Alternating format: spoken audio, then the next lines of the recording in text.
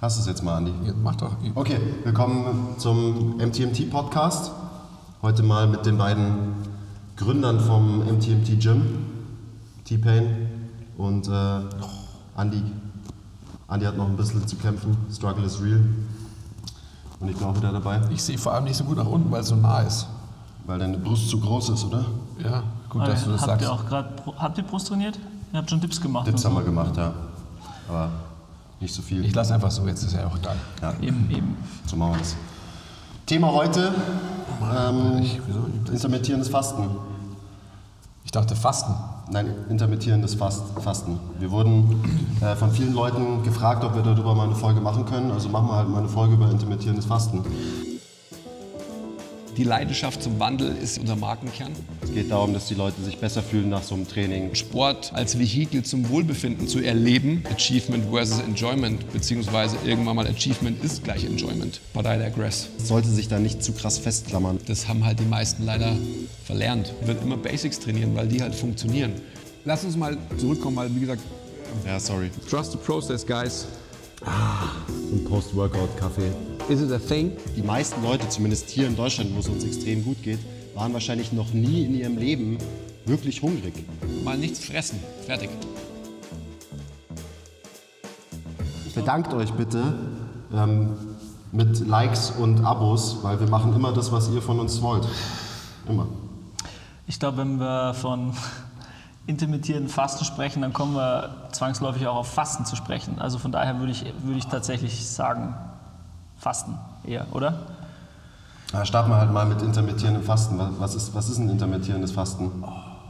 Was heißt denn das? Das ist ja so ein Buzzword, das ist ja im Moment so der Shit. Ja, es gibt ja, auch, es gibt ja auch ganz so. viele Leute, die ähm, das Wort abgrundtief hassen. Also das Ja, Gegenteil ist ja auch der Fall. Ähm, Weil es halt so ein Mischwort und eine Bezeichnung für alles ist, äh, was irgendwie das Nicht-Essen bezeichnet. Ja, also man kann ja auch quasi intermittieren, zwei Stunden intermittieren fasten. Ja, ist natürlich Quatsch.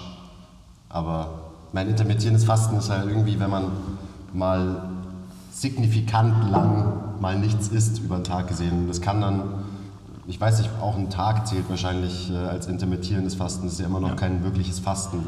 Wenn man von echtem Fasten redet, dann bedeutet es für mich, dass es halt ein paar Tage sind und nicht ein paar Stunden. Ich glaube, ab, ab 24 Stunden spricht man schon von, von Prolonged Fasting, also von, von, von dann Heilfasten oder ich weiß gar nicht, wie das in Deutsch dann heißt. Fasten halt. Fasten. Ja. Oder mit Andis Worten einfach mal nichts fressen.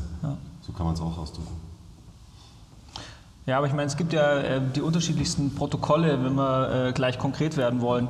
Ähm, kann man alles machen, theoretisch zwölf Stunden ähm, off, zwölf Stunden on. Also on heißt dementsprechend essen, zwölf Stunden off wäre halt nicht essen.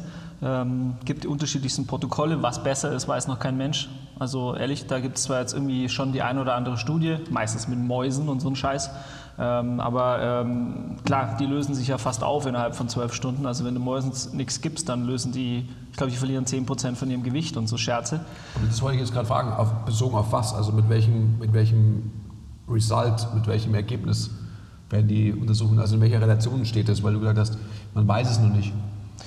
Ja, also wie immer halt in der, in der Ernährungswelt kann man ja ähm, so faktisch äh, gar nicht äh, bestimmen, was das Ganze auf die äh, Langlebigkeit zum Beispiel für einen Einfluss hat. Das ist, das ist ja die Problematik, die grundsätzliche Problematik in der, in der ähm, Ernährungswissenschaft oder in der Ernährungsmedizin. Aber ähm, wie gesagt, wenn man das mit, äh, mit Mäusen macht, wenn man denen mal zwölf Stunden nichts zu essen gibt, die verlieren extrem viel Gewicht.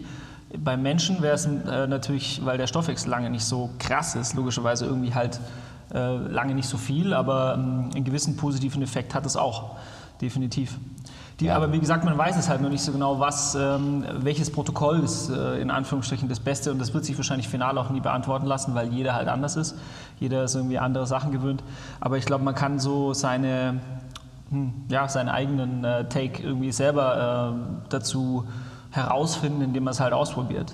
Das wäre das Beste. Du hast es ja auch schon gemacht, Quiz. Ja, ja Studien, Schmudien, also äh, das ist ja sowieso nicht so unsere Herangehensweise. Wir erzählen ja immer so ein bisschen aus dem echten Leben und was halt so unsere Member, die hier trainieren, für Erfahrungen damit gemacht haben und natürlich wir selber. Ich habe ähm, eine Zeit lang ganz nazihaft ähm, versucht, immer 16 Stunden zu fasten eben jeden Tag. Also so das 16-8, das ist jetzt auch so ein, so ganz viele Leute fragen mich so, was, was hältst du von 16-8? Und ich war gar, also mir war nicht so bewusst, dass das jetzt so ein Thing ist, aber anscheinend ist es so ein Thing. Wie lange ist es her bei dir, dass du es gemacht hast?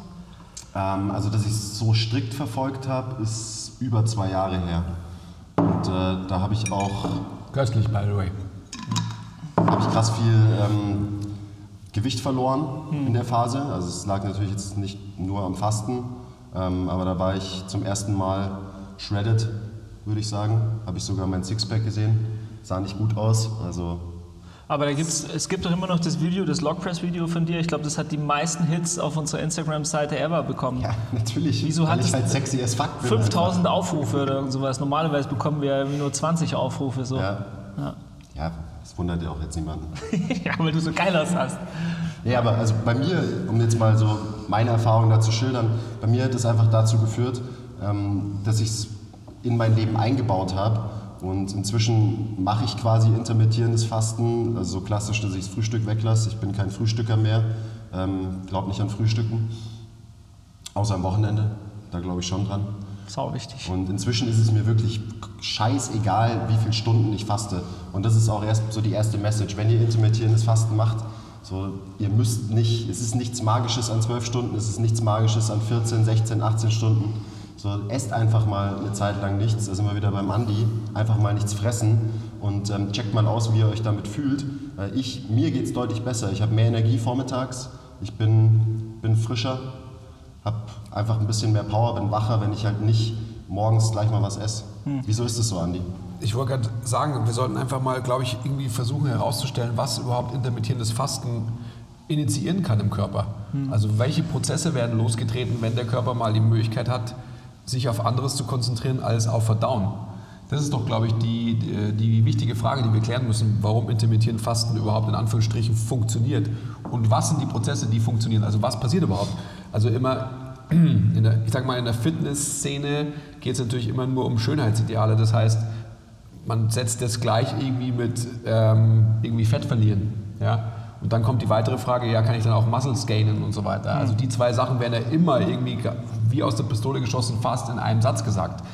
Die viel wichtigeren Dinge sind ja, was du vorhin gesagt hast, die ähm, vermeintlichen Longevity-Effekte. Also gibt es die und worauf basieren die vielleicht? Ich glaube, das ist einfach viel, viel wichtiger. Und da, ähm, glaube ich, kann man die Fakten mal versuchen anzureißen, ohne dass wir da zu spezifisch werden müssen. Und dann unsere persönlichen Takes, ihr habt es ja beide eigentlich schon beschrieben, ähm, was es uns gebracht hat oder wie wir uns fühlen, wenn wir mal nichts fressen und so weiter und so fort. Ja.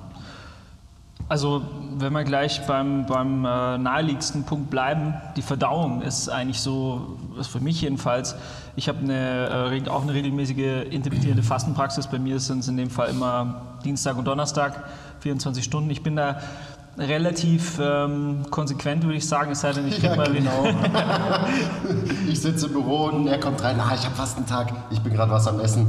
Tilo, ja, ich muss eigentlich fasten, aber Das, ah, war scheiße, nur, ich hab so Bock. das war nur nach Weihnachten. Das war nur nach Weihnachten. nee, stimmt schon. Also er ist der Devil, absolut. Also Chris ist, ist böse, der, der, der ist wirklich ist nicht gut. Aber egal. Ich versuch's, äh, in der Regel schaffe ich's eigentlich ganz gut und ich versuche tatsächlich 24 Stunden zu machen. Mir hilft es ähm, tatsächlich so ein bisschen auch mein Ge Gewicht zu kontrollieren. Also in dem Fall mein, mein Wammerl, das weiß ich, das habe ich einfach aus der Erfahrung jetzt herausgefunden. Ähm, Mama, das ist der Bauch für alle. Genau, nicht für die alle Bayern, nicht Bayern. Ja. Also ich mache, wie gesagt, die 24 Stunden. Ich trinke zum Beispiel Kaffee, auch darüber kann man streiten. Ist Kaffee äh, noch Fasten und so weiter? Oder ist, da gibt es ja ganz extreme Nazis, darf man das sagen? Ja, darf man, oder? Habe ich vorhin auch schon gesagt. Also gibt es ja ganz extreme äh, Menschen, die sagen, okay, man darf nur Wasser trinken und keine, kein Kräutertee und all so ein äh, Schmarrn. Da will, da will ich gleich einhaken, um gleich wieder praktisch zu werden und von der Theorie wegzugehen. Da ist, finde ich, genau die Frage, macht man das anekdotisch angewandt Fasten oder macht man es wirklich ähm, science-based, wie ein Peter Attia, wie eine Dr. Äh, Rhonda Patrick oder wie sie alle heißen? Weil dann dürfte man natürlich keinen Kaffee trinken. Weil Kaffee natürlich dann einfach wieder eine Kaskade von Hormonausschüttungen ähm, initiiert und so weiter, die letztendlich den, den eigentlichen Fastenprozess beziehungsweise was durch Fasten initiiert wird, also die, wie heißt der, Autophagie, ja, was ja vielleicht der, der Prozess ist, der letztendlich quasi der, der ja, gesundheitlich wichtigste ist, Ja. durch, durchs Fasten initiierte, ähm, unterbricht, faktisch, definitiv. Aber so weit will ich gar nicht gehen, aber ich finde, darauf sollten wir auch zu sprechen kommen. Ob das ein Fakt ist, weiß ich jetzt auch nicht so ganz. Es ist, glaube ich, schon noch eher umstritten, ob Ich mein- schwarzer Kaffee ähm, wirklich so krass ähm, einfach dein System in Wallung bringt, dass es irgendwie die, die Benefits vom Fasten Ja, das muss einfach. eliminiert, sage ich jetzt wird, mal. Naja, schwarzer Kaffee und was, was die Inhaltsstoffe sind, wird in der Leber abgebaut und dementsprechend werden einfach Hormone ausgeschüttet. Das heißt, der ganze Prozess der, der Autophagie wird auf alle Fälle unterbrochen. Das ist Fakt. Ja, wenn du das sagst. Naja, ich, in Vorbereitung auf dieses Gespräch mit euch zwei habe ich mich natürlich vorbereitet. Also nicht, dass ich es wüsste, aber ähm, Andy, the Science Guy. Ist ja auch egal. Nein, aber ich meine, ist, mir ist es auch egal, ich bin da voll beim Tilo. Ja. Ähm, Wir müssen natürlich einfach unterscheiden zwischen, was ist wirklich wissenschaftlich belegt und Fakt. Ich meine, der Nobelpreis 2016 ist er verliehen worden, genau für die Autophagie. Autophagie, ja. Und das ist Japaner. einfach, genau, und das ist einfach halt ein Prozess, der, der, also diese ganzen Ableitungen davon, die sind einfach ganz klar. Schwarzer Kaffee bedeutet, dass ich eine Hormonausschüttung habe und diese ganzen Produkte werden in der Leber abgebaut. Das heißt, die, die Zell-Selbstzerstörung und Wiederaufbereitung, also Recycling der eigenen Zellen, wird da einfach unterbrochen. Aber jetzt komme ich wieder zum Punkt, zum, zum, zum Selbstanwenden, zum anekdotischen Erfahren. Als ich intermittierend fast gefastet habe, habe ich natürlich auch Kaffee getrunken, weil man ja irgendwie, und da geht es wieder um die Anwendbarkeit fürs Leben, weil man ja irgendwie trotzdem eine, eine Bedürfnisbefriedigung hat. Es gibt einfach die wenigsten, ja, und ich habe noch nicht viele Menschen in meinem Leben getroffen und wir sind schon wirklich sehr, sehr motiviert und haben einen starken Willen. Ähm, aber auch wir sind so, dass wir wenigstens eine Ersatzbefriedigung brauchen. Ja? Ich brauche mehr als eine. Ja, ich natürlich. brauch ganz schön viele. Ich brauche auch ganz schön viele. Ähm, aber um zum Punkt zu kommen, deswegen würde ich auch, Fasten ist für mich persönlich nichts fressen. Weil, und das ist für mich das Wichtigste, nach dem Motto, was ich immer sage, clean all the pipes. Ich will nicht in der Früh aufstehen, wenn ich mir vorstelle, ich stehe in der Früh auf ja, und gehe irgendwie nach einer halben Stunde gleich an den Frühstückstisch und frühstücke was, hey, dann, dann platze ich. Ja, klar. Das könnte ich gar nicht.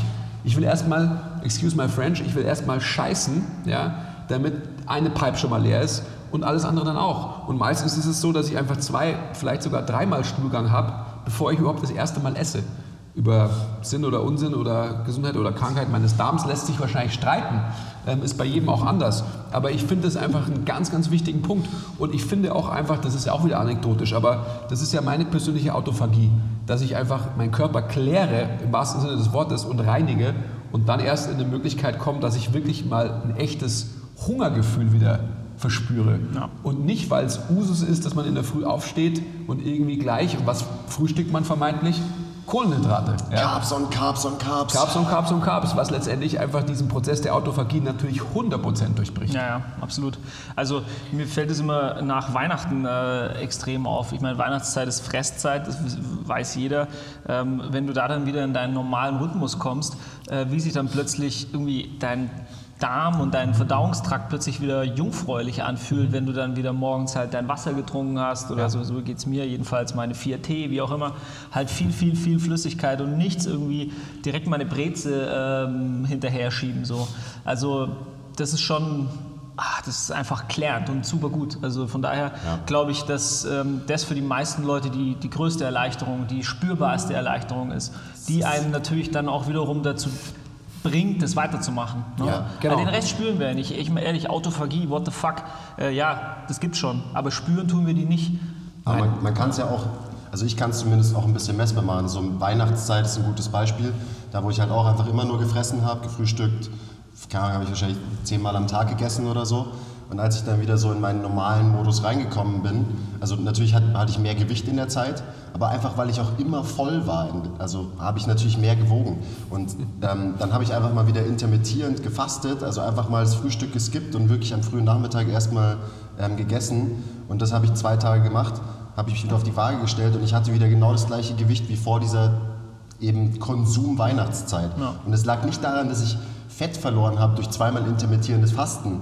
No way. Es geht einfach nur darum, dass dein System mal wieder in so den, den Normalzustand zurückkommt. Also du, du nicht immer irgendwie, was weiß ich, Wasser gespeichert hast, äh, weil du nur Carbs und Salz die ganze Zeit frisst und so und weil du halt immer noch andere Sachen gespeichert hast. So, wenn das dann alles mal raus ist, dann bist du halt wieder so ein bisschen irgendwie auf Zero und da fühle ich mich auch am besten. Also das war jetzt nach Weihnachten für mich deutlich zu spüren. Und dann war ich auch vormittags nicht mehr so Äh, gleich mal erstes du bist ja- nach dem Frühstück. Du warst ja nach Weihnachten äh, unerträglich. Du bist ja hier mit einer, ähm, ja, mit, keine Ahnung, mit, einem, äh, mit einer Lethargie eingetrudelt und äh, hast dir die, äh, das Karma runtergezogen, 3000. Das war ja Was? krass. Was? Ja, natürlich. Gar nicht. Doch, das, merkt- das merkt man bei dir schon. Aber ist ja auch, ist ja auch egal. Ähm, Und es liegt alles nur am Frühstücken. ja, genau. Frühstücken macht euch zu schlechten Menschen. genau. Merkt euch das da draußen. Ja, also ich glaube, es gilt festzuhalten, dass ähm, Fasten hat unterschiedliche Effekte. Also klar ist auf jeden Fall in, innen drin in der Zelle die Autophagie, ist das sprich diese Selbstreinigung. Also Autophagie ist nichts anderes als ein Selbstreinigungseffekt der, ähm, der Zellen in, in, innen drin. Ne? Andi, du hast dich eingelesen? Ist eine Selbstzerstörung, aber man kann Selbstzerstörung, ja. Das ist, hört sich so negativ an, deswegen würde ich auf alle Fälle auch von Selbstreinigung sprechen. Also äh, Auto, Autophagie macht natürlich vor, vor ähm, Krankenzellen nicht halt. Also in dem Fall ist es dementsprechend positiv auch gerade im Bereich der Krebsprävention. Also äh, tatsächlich ein Ab- und Aufbau von Zellen findet ja die ganze Zeit statt im, im Körper. Das heißt, der Körper kann das im Optimalfall selber, aber wenn er halt, wie wir das jetzt mittlerweile gelernt haben, halt immer überall alles hat, dann verlernt er tatsächlich auch selbst seine Selbstreinigung, also diese Zerstörungs, diesen Selbstzerstörungsmodus, den äh, den vermeintlichen gesunder Körper hat, den kriegt halt äh, so ein äh, lethargischer ähm, westlicher Körper, hat den halt nicht mehr. Klar, weil Ja, er immer beschäftigt ist, immer verdauen Richtig, muss, immer das ist ja der irgendwas Punkt. leisten muss. Weil er halt nie mehr in die Situation kommt, dass er sich selbst klären kann. Das Ja. ist ja das Thema. Genau. Und deswegen ist einfach die Sache, ich finde, wir sollten auf alle Fälle in der Anwendung bleiben und das, Ja. die, das Theoretische nicht zu extrem ausbreiten. Aber deswegen ist auch das, das, das Stichwort Heilfasten ähm, definitiv für mich ein berechtigtes. Ja, also, dass man einfach von Heilung in der, Fa in, in der Fastenperiode spricht. Also, äh, ich habe ja auch letztes Jahr, vorletztes Jahr, auch einfach mal ähm, fünf Tage, eigentlich, wenn man so will, acht Tage gefastet, also aber fünf halt voll mit, mit Vorbereitung und Nachbereitung, wenn man so will. Und was man da quasi ausscheidet am Ende des Tages, ist schon bemerkenswert. Das ähm, will ich jetzt auch nicht ausbreiten, aber Ja. es ist auch eine Erfahrung, die, glaube ich, jeder mal machen kann. Nicht unbedingt sollte, aber ähm, vielleicht auch schon. Erzähl mal, wie lange hattest du noch Ausscheidungen? Ähm, Na, ich habe ja jeden Tag zwei Einläufe gemacht. Also ich habe angefangen, du, du machst ja eine reduzierte Diät, also du ähm, eliminierst schon gewisse Lebensmittel zwei Tage vorher, logischerweise einfach, dass du, dass du keinen harten Stuhl mehr hast, vermeintlich. Ähm, also reduzierst natürlich stärkehaltige Lebensmittel und etc. Dann machst du eine äh, Komplettentleerung mit Glaubersalz, wie man es ja vor Darmspiegelung und so weiter auch kennt. Und dann ähm, habe ich morgens und abends jeweils einen Heileinlauf gemacht, wenn man so will. Und, ähm, aber kam dann immer noch was raus? ja, die, die Sache ist die, ja, ja, die Sache ist die, ähm, genieß deine Sahne. Die Sache ist die, dass man ja eigentlich denkt, und das ist natürlich Blödsinn, ja, also was, was sich einfach durch Glaubersalz löst, ist halt das eine. Und da muss man sich einfach vorstellen, was komplett im Darm gelöst wird. Und es kam die ersten zwei Tage, kam, ähm, ja, natürlich einfach weiterhin irgendwelche Strukturen, sage ich jetzt einfach mal. Da kam natürlich kein, kein Stuhl mehr, logischerweise. Ähm, am zweiten Tag am Abend, und ich erinnere mich noch ganz genau, es ist sehr gross, vielleicht will es auch keiner hören, aber es ist schon interessant.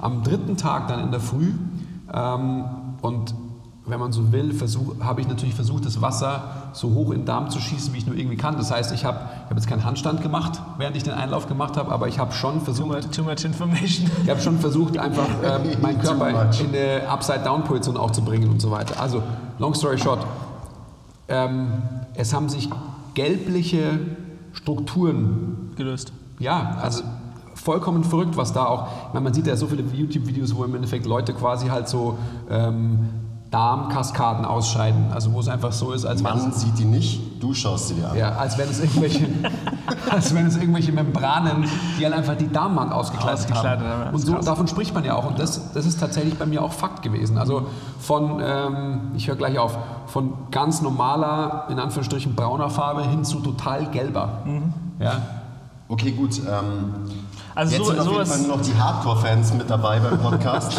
Ja. Danke, dass ihr uns noch zuhört. Sowas passiert übrigens bei 16.8 nicht, ne? Oder? Wenn man 16.8 macht, Ja, wenn man es mit Einläufen äh, zusammen macht, vielleicht schon. Ich, äh, also jetzt vielleicht mal kompletter Themenwechsel, weg von ähm, Andys Stuhl. Hin zu eben wieder so der Anwendbarkeit im Alltag. Warum machen Leute überhaupt intermittierendes Fasten? Und da brauchen wir nicht von ähm, Autophagie reden oder sowas, Ja. sondern du hast es am Anfang schon gesagt, Leute machen intermittierendes Fasten, weil es als Diät ähm, angepriesen wird und weil Leute besser aussehen wollen, sprich abnehmen wollen. Abnehmen ist ein dummes Wort. Leute wollen Fett verlieren, deswegen machen Leute intermittierendes Fasten.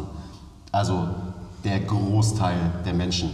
Und da ist natürlich auch ein großer Faktor für ein intermittierendes Fasten. Ja. Und deswegen haten es auch so viele, was du auch vorhin schon gesagt hast. Ja. Weil natürlich intermittierendes Fasten ähm, an sich jetzt, wenn man nur intermittierendes Fasten macht und sonst äh, alles ist alles egal, dann äh, wird man damit wahrscheinlich nicht groß Fett verlieren.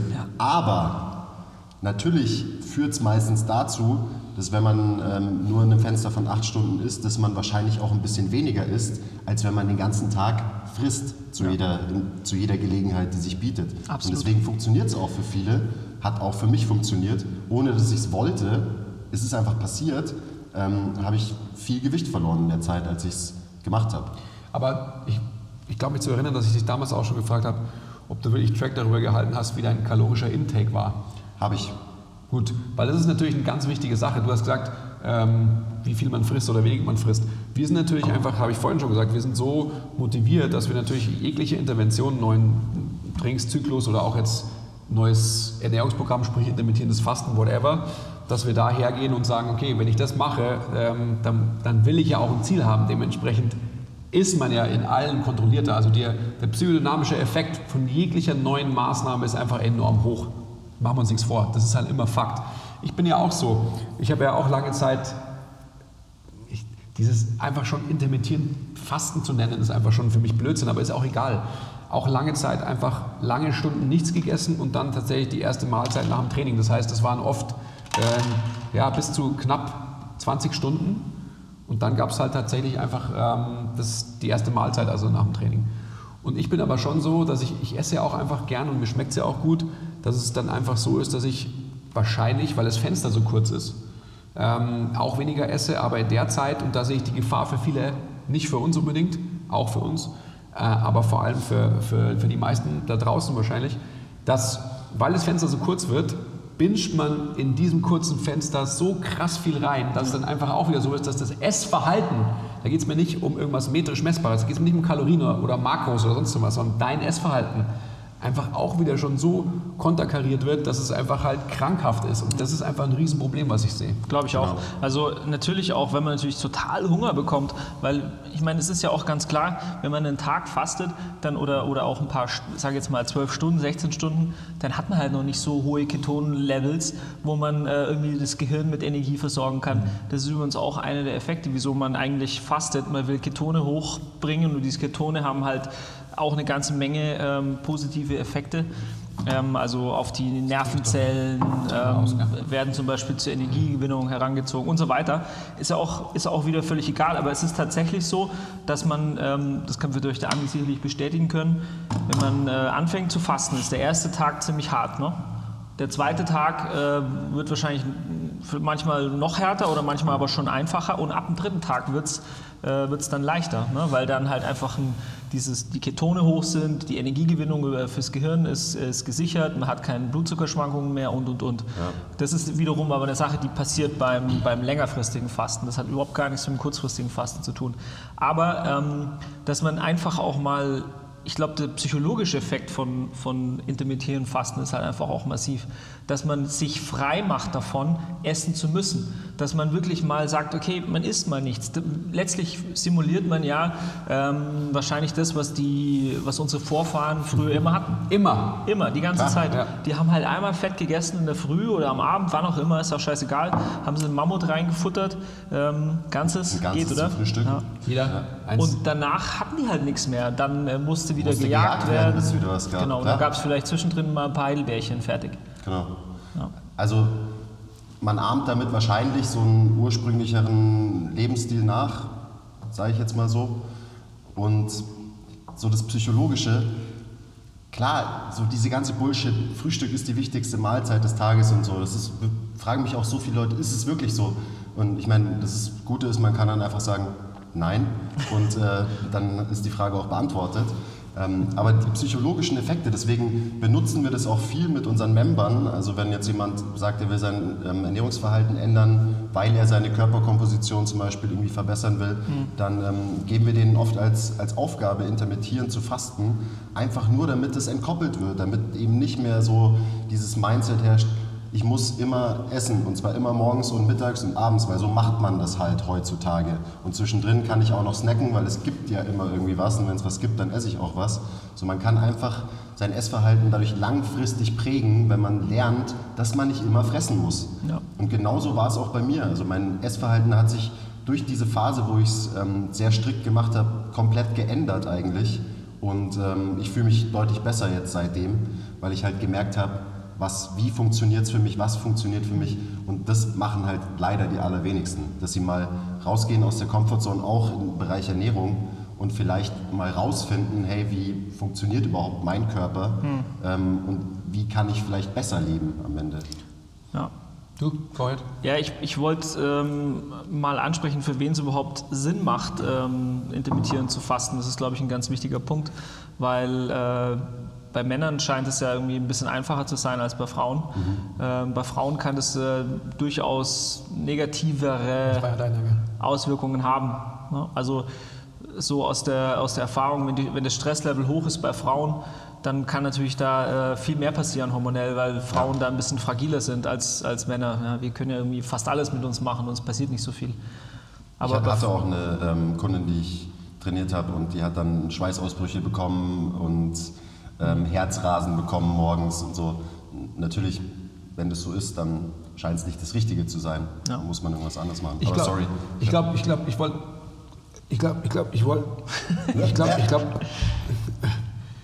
Was ich sagen wollte ist, genau, danke. Ähm, ich habe das ja mit meiner Frau auch immer. Ganz klares Thema auch und so. Die, die muss, denkt sie vielleicht, I don't know, vielleicht muss sie auch Carbs essen in der Früh, einfach genau um diesen, diesen Zustand auszugleichen.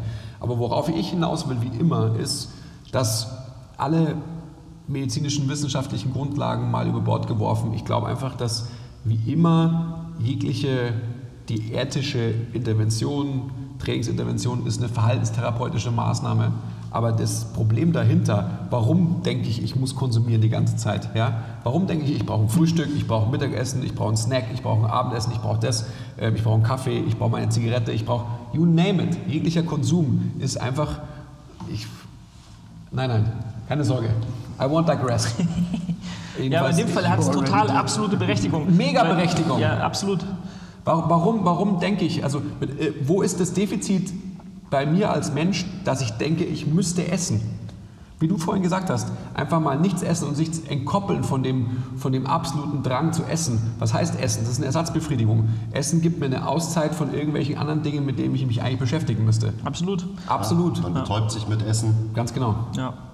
Ich meine, man hat Bock auf ja geile Neurotransmitter-Ausschüttungen durch Junkfood und so weiter. Deswegen macht man es ja auch. Also nicht bewusst, aber das passiert einfach in unseren Hirnen. Also leider, leider sind wir da halt echt so wired, weil wir es halt ähm, gelernt bekommen. Also wir lernen uns das halt äh, an. Ja? Ich meine, Essen, ich meine, ihr wisst, das weiß doch jeder selber, wenn es einem scheiße geht, dann futtert man eine Pizza und äh, kurz zwei Sekunden danach geht es einem gut, dann irgendwie äh, eine halbe Stunde später kotzt man sich selber noch krasser an.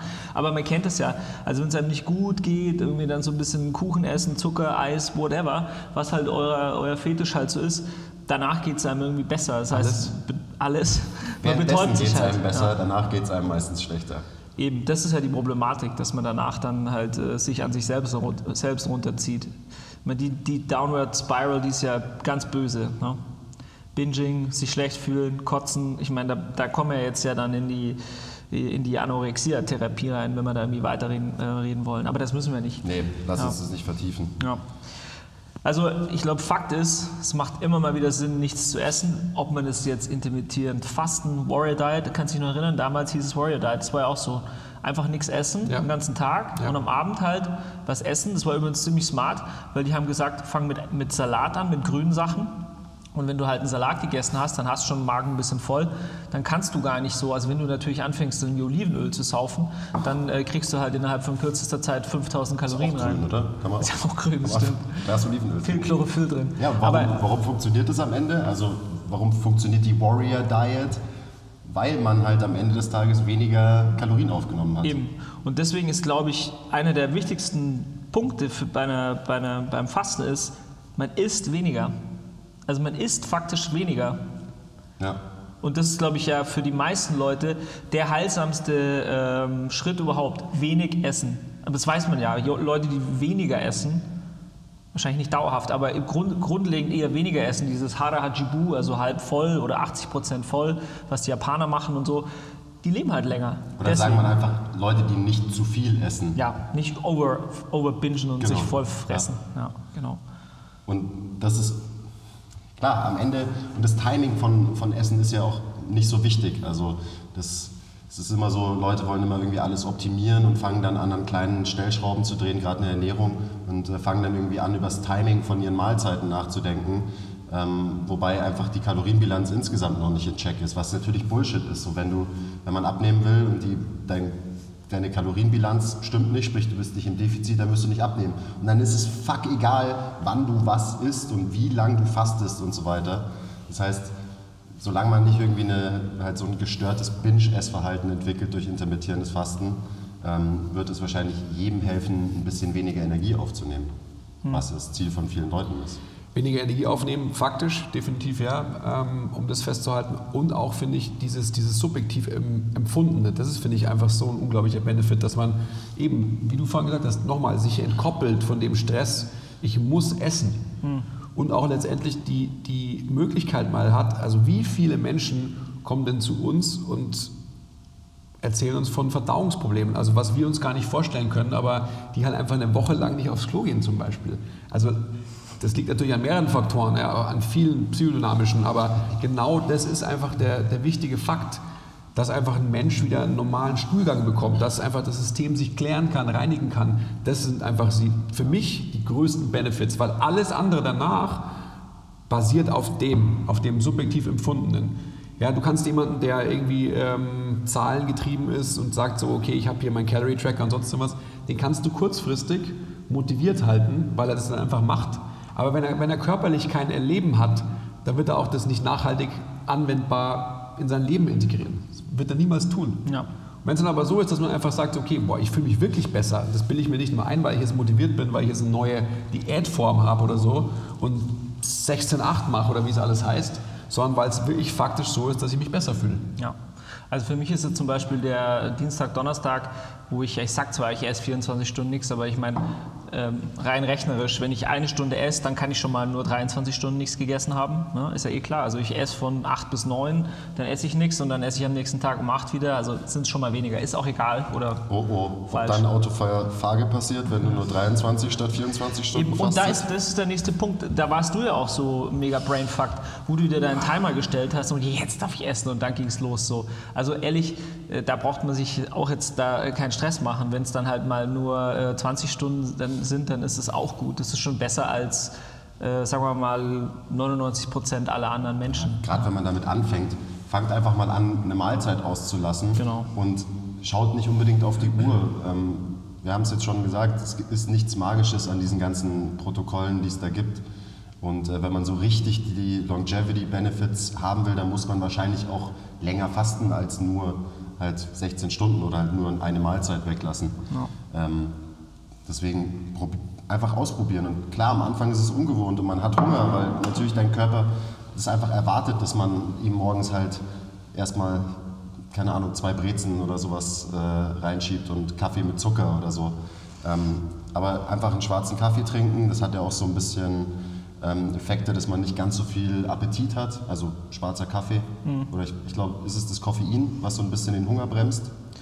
Oder Also andere ich, ich bin fest davon von überzeugt, dass einfach die Neurotransmitter, die damit, die, die Befriedigung, die im, in, in, die im Gehirn passiert, dass die damit einhergeht. Einfach, das ist das Gefühl, Mhm. Ähm, was gegessen zu haben oder was sich was einverleibt zu haben, sage ich jetzt bewusst. Ob das, äh, ich meine, für mich war eine Zeit lang so, ich habe da immer, hab mal so ein Goal-Setting-Sheet von mir gefunden, wo ich mir aufgeschrieben habe, nur einen Kuchen am Tag. Für mich war eine Zeit lang wirklich so, dass ich ähm, Kuchen und Kaffee war eins. Und wenn ich einen Kaffee getrunken habe, dann brauchte ich den Kuchen dazu. Das heißt, ich habe dann irgendwie drei Kuchen gegessen am Tag und ich war jetzt auch nicht irgendwie dick, ich habe mich halt einfach bewegt, aber ich wusste, okay, das ist vielleicht nicht ganz so gut. Aber ich habe mich dahin trainiert, das war das, das quasi Kaffee ist gleich Kaffee plus Kuchen und ähm, habe hab mir das dann langsam abtrainiert. Und genau das, da ist doch der Punkt. Ich meine, man kommt von so einem extremen Punkt, vier Kuchen am Tag sind quasi normal und trainiert sich runter auf ein Kuchen am Tag. Mittlerweile brauche ich jetzt nicht unbedingt jedes Tag, jeden Tag einen Kuchen, ich komme auch mit einem Kaffee so aus. Aber ähm, so ähm, ja, trainiert man sich das irgendwie an, was natürlich total lächerlich ist. Ja. Tilo Kuchendorf. Ja, das ist mein Name. Steht dazu. Mag Kuchen. Geil. Wie schaut es aus mit, ähm, so mit Muskelmasse? Weil wenn man fastet, kann man ja keine Muskeln aufbauen und dann macht man ja auch keine Gains, oder? Weil dann ist man ja nur katabol die ganze Zeit, oder? Ja, das ist tatsächlich interessant. Ähm, also ich würde sagen, dass wenn jemand wirklich länger, längerfristig fastet, Kannst du haben. dann ist... Ähm, ist ja eh meiner. Okay und hart trainiert an dem Tag, dass die Trainingsqualität durchaus herabgesetzt sein kann, wenn man es nicht trainiert hat. Die Qualität kann aktuell im Training oder das, was danach passiert? Also ich glaube auch, dass äh, je nachdem, wie, äh, wie intensiv das Training ist, was für eine Art von Training, klar, da muss man natürlich, man kann nicht Äpfel und Birnen vergleichen, aber dann ähm, man muss es üben. Man muss es wie immer halt üben. Man kann nicht sagen, okay, ich mache das jetzt irgendwie 16,8 und äh, trainiere wie krass, äh, mache irgendwie CrossFit Watt oder bla bla bla. Also wenn ich halt irgendwie äh, darauf angewiesen bin, dass ich Zucker im Körper habe und der ist irgendwie schon weg, wobei die Leber in der Regel eigentlich genügend hat, ne? oder? Wir haben schon so ein paar Speicher im ja, Körper. Eigentlich, ja, eigentlich Deswegen ist ja auch wieder so ein Brainfuck. Ich kann, ich kann nicht trainieren, weil ich habe nichts gegessen davor. Habe ich mich auch eigentlich von entkoppelt, weil ich gesehen habe, dass der Leistungsunterschied meh, vielleicht ja. schon ein bisschen wahrnehmbar ist, aber es ist nicht so, dass ich dann einfach überhaupt nichts mehr kann, wenn ich nichts, nichts gefrühstückt habe. Muss man natürlich auch sehen, dass du schon ganz schön ähm, üppige Reserven auch hast, also muss man auch dazu sagen. Richtig, ja. also viel du meinst, weil ich so viele Muskeln habe, deswegen habe ich so viel Glykogenspeicher und deswegen habe ich viele Reserven. Ganz genau, ja. Das ist genau. Ja, also Training und, äh, und ähm, Fasten ist whole different ballgame. Also man muss, da müsste man wahrscheinlich gucken, äh, wie lang ist die Fastenperiode. Wenn man jetzt eine zwölfstündige äh, macht und das einigermaßen gut trainiert hat, dann würde ich meinen, äh, kann man auch gefastet äh, trainieren. Ich meine, ich weiß es nicht, wie, wie siehst du das? Ich, ich glaube, man kann das 100 Prozent. Die, die interessante Frage ist ja tatsächlich, wie immer, welcher Faktor ist wirklich der maßgebliche, der determinierende für Leistung oder weniger Leistung?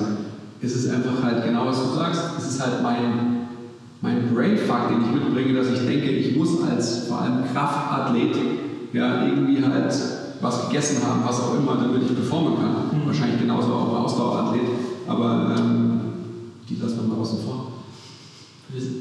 Versus ist es wirklich so, dass, dass ich faktisch weniger performen kann, wenn ich, äh, ich sag mal, Wiederholungsbereich von, ich sage es mal, eine Zahl von, von 10 nicht übersteige, ja, brauche ich dann tatsächlich irgendwie vorher was gegessen oder ist der determinierende Faktor nur mein Wille, meine intrinsische Motivation, das, was ich mir einbilde, an, an Schwachheit durchs Fasten zu spüren.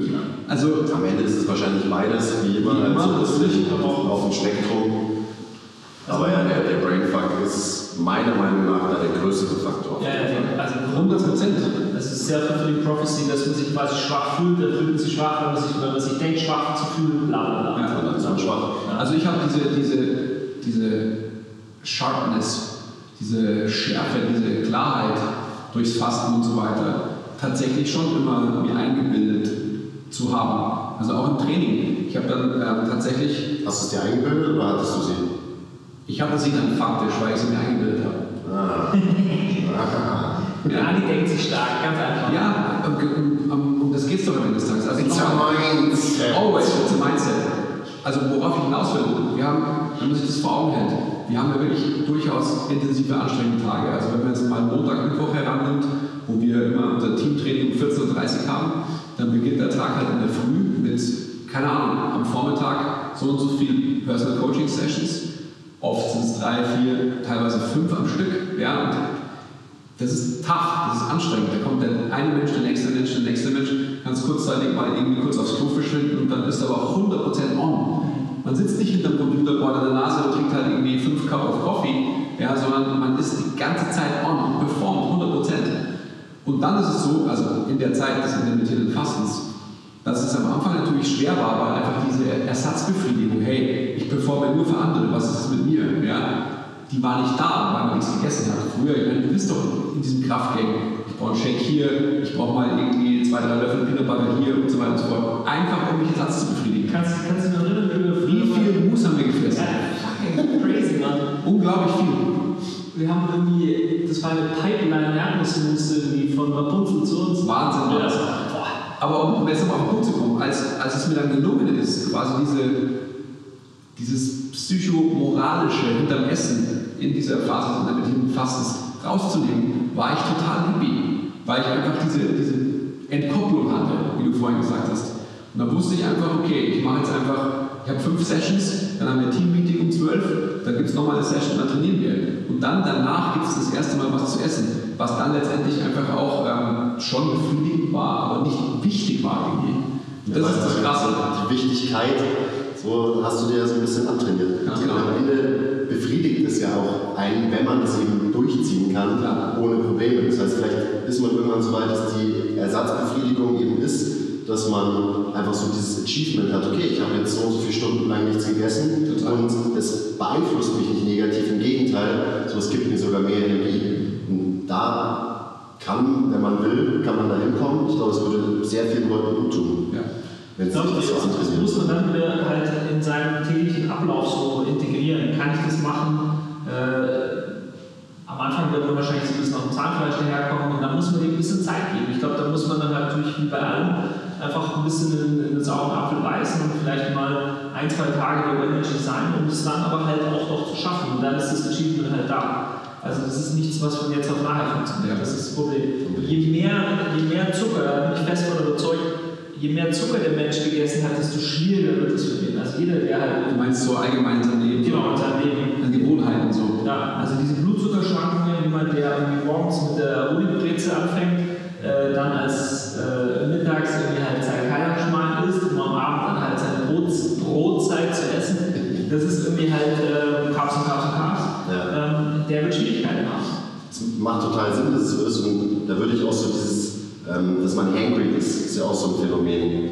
Ähm, Glaube ich, dass man sich ganz viel Hangriness abtrainieren kann, wenn man eben 100%. einfach ohne Carbs mal ein paar Stunden auskommt. Ja. Weil dann ist der Blutzucker nicht all over the place und wenn er hier unten ist, dann ist man hangry und dann muss man sich was reinziehen, damit man wieder normal sein kann, was ja auch eigentlich ges- ziemlich gestört ist, wenn man mal drüber nachdenkt, oder? So, ich brauche jetzt einen Snickers, weil ohne den Snickers bin ich scheiße drauf. Dann wird sogar Werbung gemacht. Ja, herzlichen Glückwunsch, dein Stoffwechsel ist am Arsch. ähm, ja, also einfach mal den Stoffwechsel dahin trainieren, dass er konstanten Energielevel halten kann und man nicht irgendwie so viele Ausschläge nach oben oder unten hat. Das macht intermittierendes Fasten. Wir sollten, wir sollten doch auf alle Fälle noch die, die Frage von intermittierenden Fasten ermöglicht Muskelwachstum, ja oder nein? Weil das haben wir erst angeschnitten, aber nicht Dann beantwortet. sind wir wieder abgedriftet. Weil das ist, glaube ich, ein ganz wichtiger Punkt. Ja, also das ist, steckt auch wieder in die Kerne, was ich vorhin gesagt habe. Das Timing ist nicht so wichtig. Wenn du intermittierendes Fasten machst und du hast aber insgesamt noch, du isst genug Eiweiß, du isst insgesamt genug Kalorien ähm, und dann wirst du auch Muskeln aufbauen. So, das Timing ist nicht so wichtig. Aber da würde ich dann dazu sagen, wenn man zum Beispiel gefastet ein Krafttraining macht und man will Muskeln aufbauen, das ist das ausgesprochene Ziel, dann sollte man nach dem Training, und zwar bald nach dem Training, wahrscheinlich irgendwas zu sich nehmen, was am besten ähm, auch ein bisschen Eiweiß hat. Sprich, dann ist der Post-Workout-Shake gar nicht so falsch, wenn man davor nichts gegessen hat. Ähm, einfach damit man den Körper eben aus einem eher katabolen Zustand rausholt. Und das lässt sich ja ganz einfach irgendwie normalerweise ganz einfach einrichten. Und da muss man davor nichts essen. So, das wird euren Muskelaufbau nicht drastisch reduzieren. Wenn man jetzt ein professioneller Bodybuilder ist und wirklich halt psycho seinen Muskelaufbau optimieren will, 100% rausholen will, dann macht intermittierendes Fasten wahrscheinlich keinen Sinn.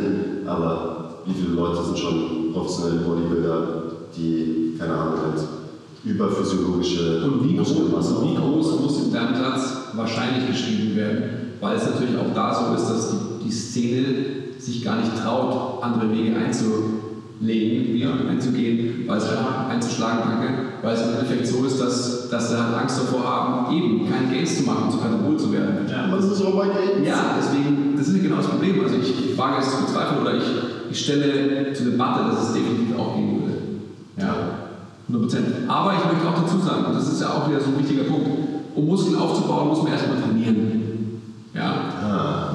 Also, zwar muss man so trainieren, dass man überschwellige Reize setzt, und zwar dauerhaft, ja, und sich linear verbessert.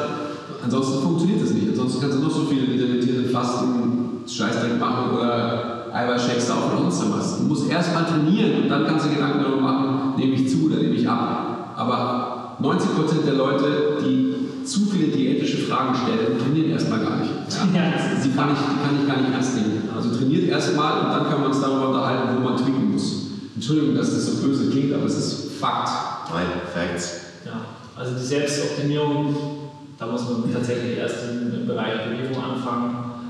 Dann kann man sich über eine ganze Menge andere Dinge auch Gedanken machen. Die, groß, die großen Sachen, die Dinge, die den größten Einfluss haben, um die sollte man sich zuerst kümmern, bevor man anfängt, äh, ja, an den kleinen Stellschrauben zu stehen, zu drehen, wo man die restlichen paar Prozentpunkte dann vielleicht noch rausholen kann. Haben wir doch alles geklärt, jetzt, oder was mit Fasten zu tun hat. Also so das Wichtigste. Wir haben gerade den besten Fasten-Podcast aller Zeiten aufgenommen. Ja. Glaube ich auch. Also jedenfalls der anwendungsbezogene und so ein bisschen Autophagie noch dazu, aber nicht zu viel. Genau, Wissenschaft, Schwissenschaft. Ich finde, das Thema Autophagie ist schon natürlich ein sau interessantes, gerade einfach im Hinblick auf, wenn man sich wieder die, die Betreuung von zum Beispiel ähm, Diabetikern, mit denen wir auch arbeiten, wo ich ja auch äh, seit langer Zeit versuche, für diesen besagten Menschen äh, eine Strategie zu entwickeln, die er natürlich nicht durchhält, weil er erstens, ähm, also will halt nicht, aus welchen Gründen auch immer. Aber da bin ich fest davon überzeugt, dass natürlich alle, die, ähm, die da auf hormoneller Ebene Probleme haben, du hast vorher äh, Krebszellen angesprochen, und da geht ja wirklich um ein Recycling von, von jeglicher Zelle. Art, sagen wir es einfach mal. Art ist natürlich falsch, aber äh, zu veranschaulichen. Das ist schon ein sau interessantes Thema und ähm, auch da ist es natürlich so, dass je älter man wird, also wir zwei uns natürlich sicherlich einfach auch schon mit anderen Faktoren äh, beschäftigen als Ziele, als du jetzt zum Beispiel. Aber ein Aggress. Ja, aber ich meine, es gab nicht umsonst einen äh, Nobelpreis für die, Genau. für das äh, Heraus oder das, für die Entdeckung der Autophagie. Ja. Also absolut. Auch abgefahren, ja, dass der Typ das ja schon in den frühen 90ern, ich glaube 91, ähm, das erste Mal eingereicht hat. Und warum auch immer, da will ich jetzt gar nicht irgendwie Lobbyismus vorwerfen oder sonst was, jetzt erst anerkannt wird von der Medizin, dass das wirklich einfach halt ein wichtiges Thema ist. Das ist krass. Das ist ja leider oft so, oder das gerade in der Medizin, da dauert es immer viel zu lang, bis irgendwie neue Ja. auch Fakten als Ja. solche angesehen werden. Vollkommen verrückt ist das eigentlich. Ja gut, fassen wir das Ganze nochmal zusammen, oder? Ich würde sagen, einfach mal nichts fressen ist gut für jeden. Selbst rausfinden, was für einen gut ist, also die, die Dauer des Nicht-Essens oder Fressens, äh, muss, man, muss man langsam anfangen. Ich würde vorschlagen, ähm, mal mit 10, 12, langsam dann aufbauen, 14, wie auch immer Stunden das äh, aufzubauen. Am besten ist es tatsächlich, das über Nacht zu machen. Ähm, in der Regel, wenn man da einfach schläft, praktisch einfach mal locker 10 Stunden, oder? Wollte ich gerade sagen, ja, einfach ähm, im Optimalfall halt das Frühstück skippen und dann mal schauen, wie, wie lange man sein Mittagessen noch hinauszögern kann. Perfekt. Das ist super easy. Echt einfach. Und ihr braucht euch da uns jetzt gar nicht rumkommen mit diesem zirkadianen Rhythmus. Das, da wird sicherlich irgendjemand kommen, der sagt, ja, das ist nicht angepasst an, die, an den Tages-Nacht-Rhythmus, pipapo. Ehrlich, für jeden, also ich, ich kenne fast niemanden, dessen sozialste Mahlzeit nicht die, das Abendessen ist, oder? Also man, da gibt es ja Leute, die sagen, ja, man muss frühstücken und dann lieber am Abend nichts essen. Also, Das halt eigentlich, das ist schwierig unpraktisch. umzusetzen. Das geht nicht. Ja. Ja. Also für mich ist es unmöglich. Meine Frau weiß im Kopf, aber wenn ich irgendwie frühstücke morgens, abgesehen davon, dass ich morgens keine Zeit habe, und lieber einfach ar- arbeiten gehe und dann am Abend äh, faste ich und trinke Wasser. So viele Vorteile. Man kann die Zeit, die man für Frühstück machen und Essen braucht, kann man einfach noch länger schlafen. Oh, Geil. Lifehacks. Hast du noch irgendwas zu sagen, Andi? Clean all the pipes. Clean all the pipes. Das ist das Wichtigste, glaube ja, ich. das ist nicht schlecht. Ja. Ja, Clean the Pipes. Ähm, like den Podcast. Also das könnt ihr beides gleichzeitig machen, wenn ihr wollt. ähm, abonniert uns, checkt unsere YouTube-Videos, zeigt uns ein bisschen Liebe. Und ähm, sagt uns Bescheid, über welche Themen ihr als nächstes äh, Podcast hören wollt. Weil wir richten uns auf jeden Fall nach euch und wir können über jedes Thema äh, stundenlang philosophieren.